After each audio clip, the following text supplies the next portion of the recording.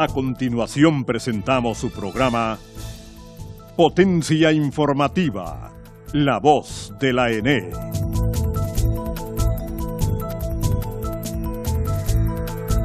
Bienvenidos una vez más a su programa Potencia Informativa. Les saludan Eric Cerrato y Evelyn Cubas. Juntos les presentaremos las noticias más importantes de la semana. A continuación, nuestros titulares. Titulares. San José del Huarque y el Boulevard Económica Europea entre los sectores beneficiados con el alumbrado público. En menos de siete días, nuevamente estructuras de la ENE sufren daños provocados intencionalmente por personas inescrupulosas. Un 65% de avance tiene la construcción de la represa Patuca 3. Técnicos de la Gerencia de Generación de la ENE se capacitan para mejorar procesos, ser competitivos y brindar un servicio de calidad a sus clientes. Estas y otras informaciones, véalas a continuación en su programa Potencia Informativa. La ENE, empresa dedicada a la compra y venta de energía, atraviesa una transformación encaminada a volverse competitiva, por lo que hace unos días, autoridades de la Gerencia de Generación a nivel nacional se capacitaron para el uso y manejo del tablero de gestión, el cual ayudará a llevar un mejor control basados en resultados en esta área. Katy Romero nos amplía la información. La ENE continúa con el plan estratégico de capacitación del uso y manejo del tablero de gestión. En esta oportunidad le tocó al área de la gerencia de generación. Esta gerencia es una de las más importantes de la empresa, ya que se trata de la generación y administración de la energía de plantas estatales, por lo que la implementación de este método ayudará a trabajar de una manera adecuada y efectiva, beneficiando así a los consumidores. La parte de planificación y seguimiento a lo que se planifique es muy importante.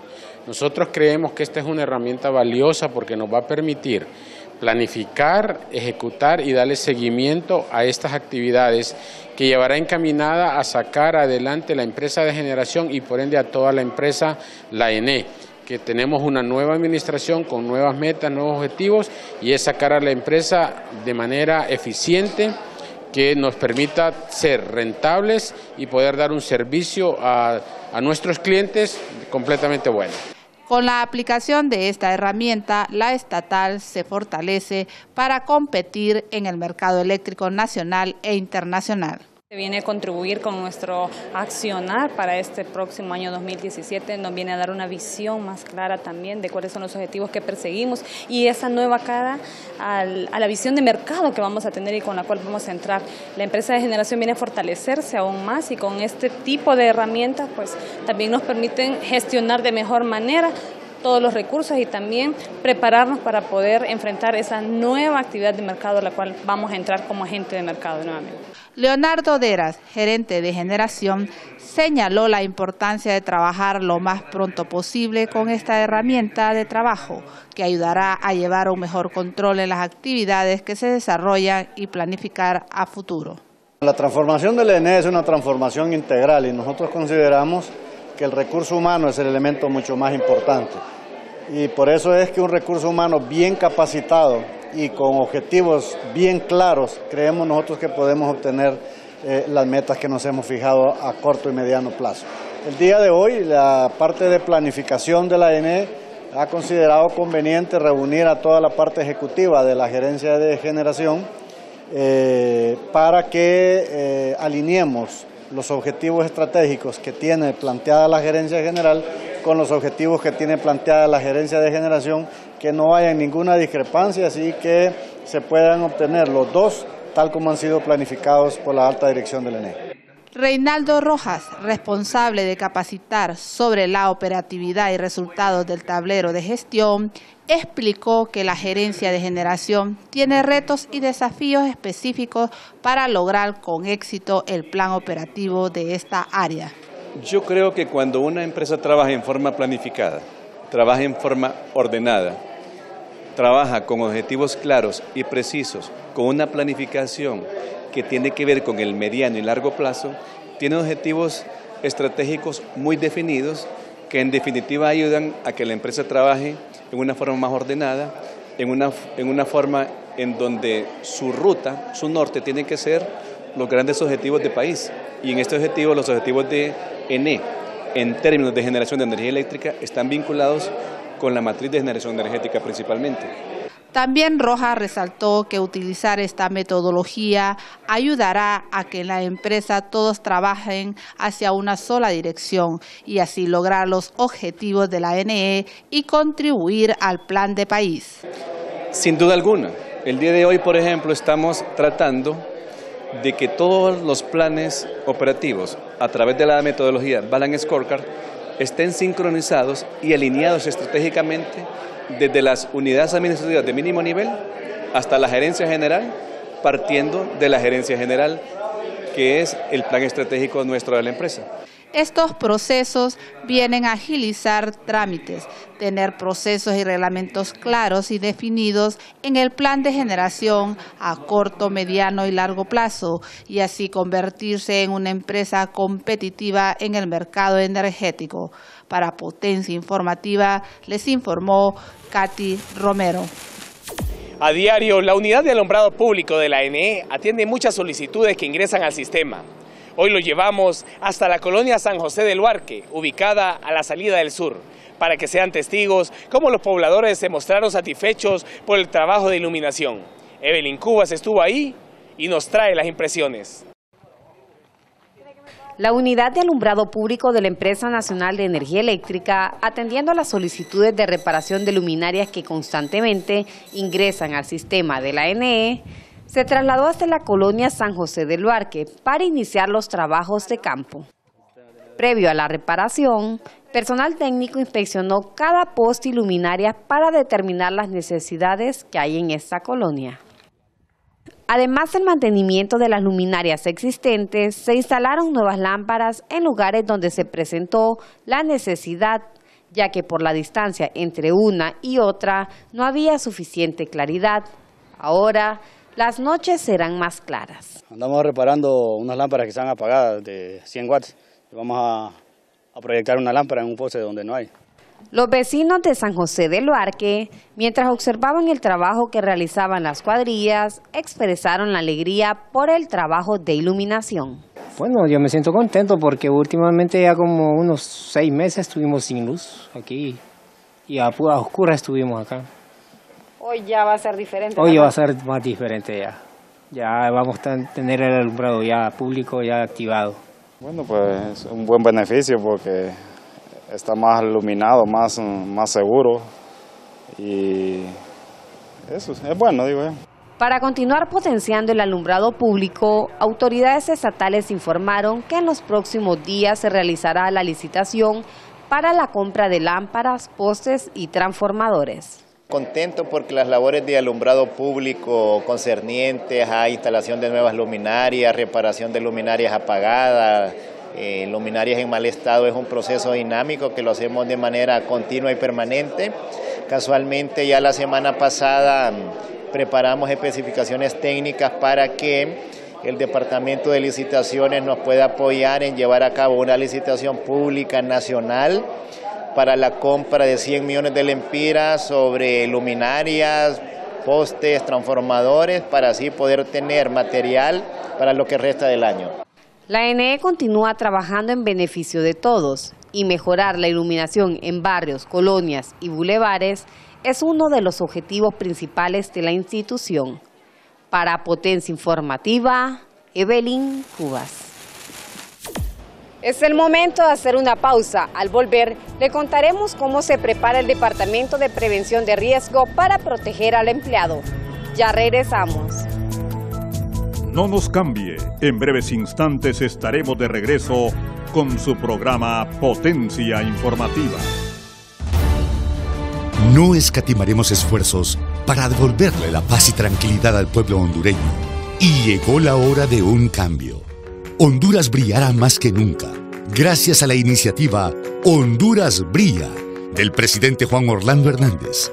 se enviarán cuadrillas especiales que restablecerán el alumbrado público en los barrios y colonias de varias ciudades del país. Como primera etapa gracias a los fondos de la tasa de seguridad para que cada habitante de estas zonas pueda caminar seguro en horas de la noche y los negocios nunca más vuelvan a cerrar temprano por miedo a que los asalten. Honduras brilla. Presidencia de la República. Ya estamos de vuelta en su programa Potencia Informativa. En nuestro resumen de noticias de la semana se destaca los actos vandálicos que han ocurrido en menos de una semana en contra de la empresa y del abonado. Y además les informaremos sobre los avances que ha tenido Patuca 3. Veamos. En menos de una semana, la empresa nacional de energía eléctrica ha sido víctima de dos actos vandálicos contra su propiedad.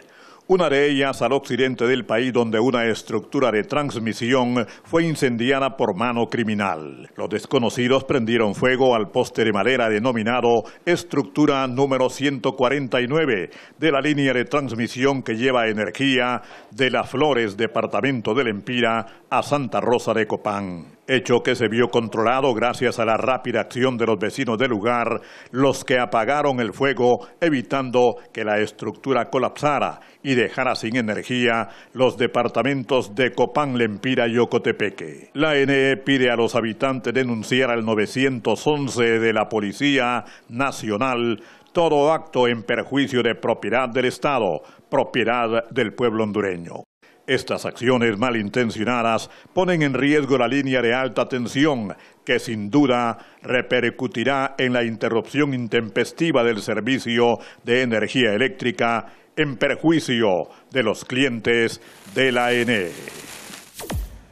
Autoridades de la Empresa Nacional de Energía Eléctrica informaron que hasta la fecha la construcción de la hidroeléctrica Patuca 3 ubicada en el departamento de Olancho, registra un avance del 65%.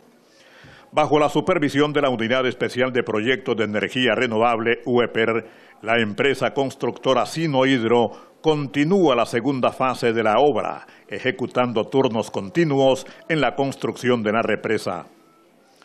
Claudia Aguilar, directora de la UEPER, explicó que el proyecto detona múltiples beneficios y uno de ellos es la generación de empleo a las personas que viven en lugares aledaños a las zonas de edificación y en forma indirecta se benefician las personas que tienen negocios cercanos al mismo. No obstante, el mayor beneficio es para Honduras, pues se incrementará la generación de energía limpia a través de esta central, que será responsable de suministrar unos 104 megavatios. Además explicó que Patuca 3 es el primero de otros dos proyectos similares, Patuca 2 y Patuca 2A, los cuales se planifica construir una vez esté concluida esta primera hidroeléctrica estimando que entre los tres proyectos el complejo podría llegar a generar más de 400 megavatios. La funcionaria detalló que entre los principales avances se destacan la finalización de las excavaciones en casa de máquinas, área de presa y túneles, pago del 94% de la deuda total reconocida en concepto de tierras, quedando pendientes un estimado de 72 millones de lempiras. Implementación de programas de responsabilidad social empresarial, inicio de gestiones enfocadas al desarrollo de compensación social para la población circunvecina del proyecto, bajo la premisa de beneficio compartido. Además, se inició el rescate arqueológico y de vida silvestre. A fin de cumplir con los objetivos trazados de la reestructuración empresarial, se integra a los procesos sistematizados del Grupo Empresarial ENE una nueva herramienta denominada Tablero de Gestión, que impacta en el tablero de comando que monitorea la gerencia general. Dicha iniciativa incidirá en la eficiencia y eficacia de todas las áreas de la empresa, dado a que a través de este nuevo sistema de control será seguimiento a las labores planificadas, efectuadas, objetivos alcanzados y tiempos de ejecución. Lucas Ramos, gerente de transmisión, estima que esta herramienta permitirá medir el desempeño de cada una de las nuevas áreas de la empresa, administrar mejor los recursos y así fortalecer el área de transmisión, disminuir la incidencia y duración de fallas, además de facilitar el cumplimiento de metas planificadas.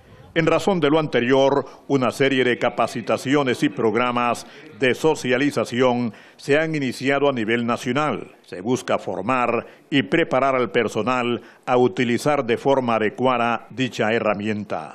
Según Raúl Pino, gerente de planificación, estas medidas deben ir en consonancia con un cambio de actitud de los empleados, dado que, tras el proceso de depuración, se estima que cerca de 2.100 empleados forman parte de la empresa y estos deben estar comprometidos con las medidas adoptadas y los objetivos trazados. Ricardo Madrid, director de Ingeniería de Transmisión, menciona que esta iniciativa nos compromete a todos a contribuir en la reducción de pérdidas y estar sintonizados con las estrategias del gobierno Además, vamos a poder detectar quién no hace su labor y qué hace falta por hacer.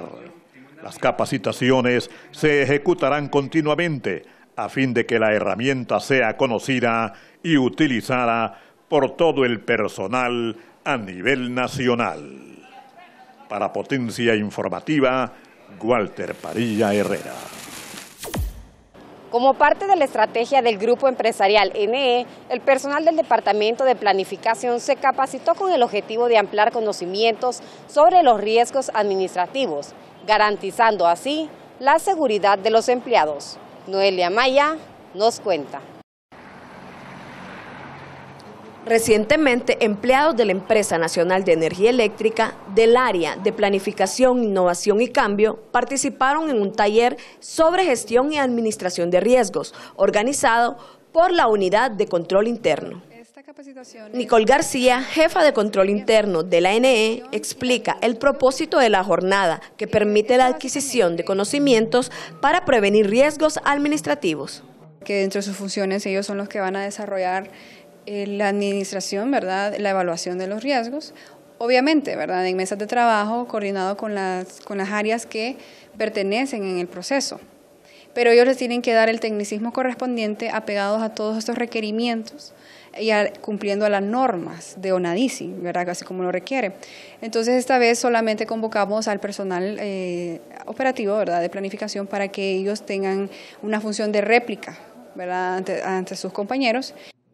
Raúl López, especialista en control de riesgo de la Oficina Nacional de Desarrollo Integral de Control Interno, ONADICI, explica la función de esta herramienta, que permitirá prevenir y gestionar las alarmas de las que puedan ser objeto la NE. Los riesgos, como dicen, no podemos eliminarlos, no podemos decir que la empresa no va a poder tener pérdidas. La función es llegar al punto, de un punto de equilibrio en el cual la institución pueda sostenerse con sus propios fondos, eh, reducir las pérdidas al, máximo eh, y que todo esto al final lleve, como les mencionamos siempre, el logro del objetivo. Los objetivos se los plantea la institución el momento que quiere hacer esos cambios. Establece el periodo de tiempo y cuáles son las maneras para que eso se cumpla. Contar con un personal capacitado se garantiza el cumplimiento de los objetivos estratégicos y se promueve la competencia a lo interno de la NE. Es importante porque todos los empleados tenemos que estar capacitados y actualizados con mejoras continuas en nuestros estudios académicos, ¿verdad? Y es por ello que el ENE está invirtiendo y está apostando mucho a lo que es la capacitación del personal. Un personal que está capacitado es un personal que está más competente y que puede servirle a la empresa para que podamos desarrollar diferentes prácticas de mejoras, como son la parte de los procesos y como ser la parte de la implementación de estas matrices de riesgo que hoy en día la empresa va a implementar. Con el conocimiento de los procesos y manejo eficiente y transparente del control interno, se busca evitar errores y controlar la corrupción, señala el gerente de la estatal eléctrica. Es una nueva estructura organizacional, es una nueva ENE, es algo muy diferente como ha funcionado anteriormente. Tenemos que garantizar que así como la corrupción es difícil erradicarla, pero se puede evitar. Si hacemos buenos procesos, es más difícil que cometamos errores. La NE seguirá implementando herramientas de gestión para contar con mecanismos modernos que permitan a sus funcionarios trabajar en un ambiente de confianza, eficaz y comprometidos a lograr los objetivos de la institución. Noelia Maya, Potencia Informativa.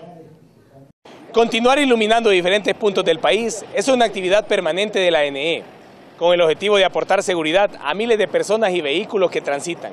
En esta ocasión, las labores de repotenciación se hicieron en el Boulevard Comunidad Económica Europea, frente al Aeropuerto Internacional Toncontín. Alexander Palma se trasladó hasta la zona de trabajo y nos trae los detalles.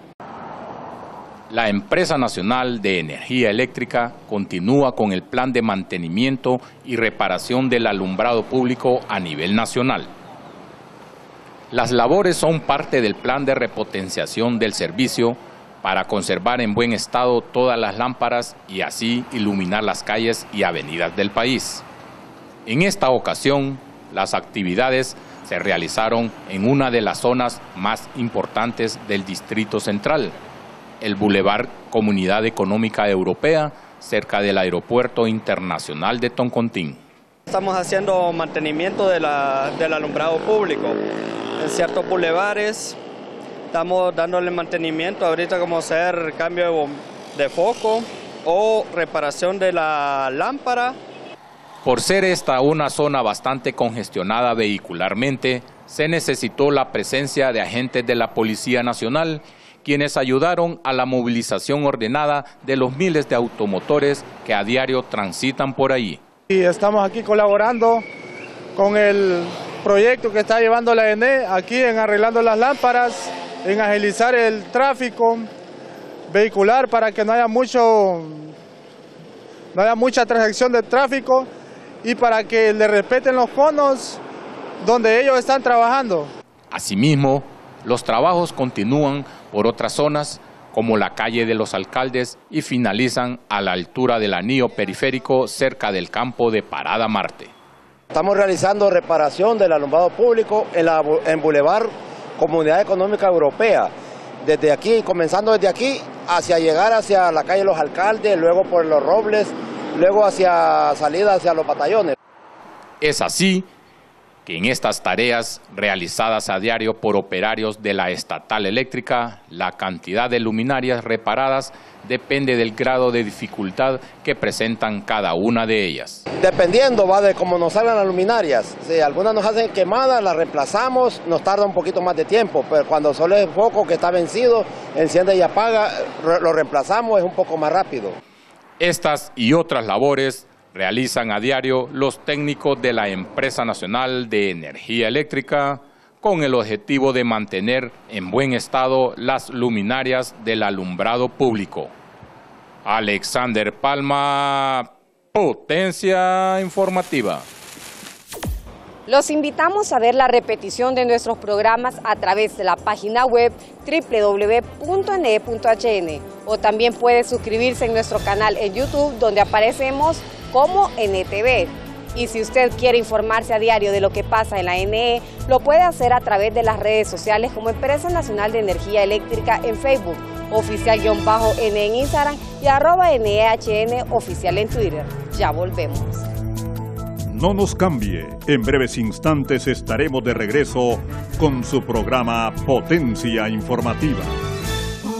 Esto que te voy a contar no tiene ninguna ciencia pero si lo haces, tienes una gran recompensa. Es tan fácil como contar. Un, dos, tres, es de actuar. Es cuestión de sumar y restar. Y todo lo que enciendas comienza a pagar. Entre más apagas, menos pagas. Entre más apagas, menos pagas. Vamos, solo es cuestión de ponerlo en acción. Empresa Nacional de Energía Eléctrica. Ya estamos de vuelta en su programa Potencia Informativa. La NE, para brindar seguridad a los empleados que trabajan en el campo, recientemente realizó una inspección para determinar las condiciones que se encuentran los equipos de trabajo. Noelia Maya nos amplía la información.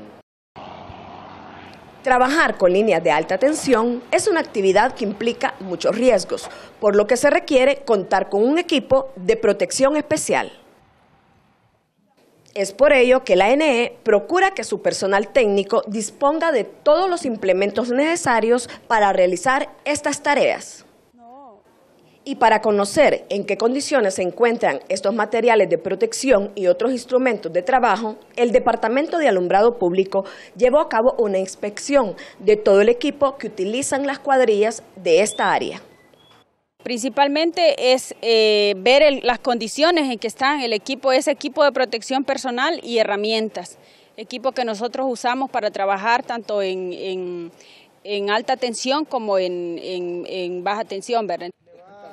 Periódicamente se realiza la revisión de este equipo, ya que la vida útil de los mismos es muy corta, debido al uso que se le da a diario. Mínimo nosotros tendríamos que hacerlo por lo menos tres veces al año, es que depende del equipo, ¿verdad? Hay equipo que, tiene vencimiento eh, tres meses, eh, equipo que nos dura un año, depende del uso. Entonces nosotros hacemos este, revisiones periódicas eh, cada tres meses o cada seis meses. Disponer de estas herramientas en buen estado no solo asegura la integridad física de los técnicos que realizan esta labor, también se brinda un mejor servicio de alumbrado público a los clientes.